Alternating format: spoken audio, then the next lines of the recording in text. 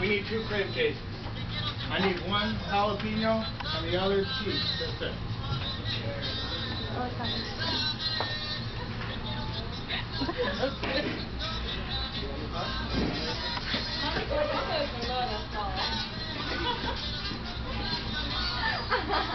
Let's go and walk around the restaurant.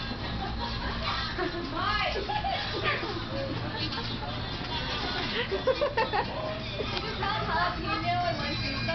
yeah, Michael, did you say jalapeno? Michael, you've got moves.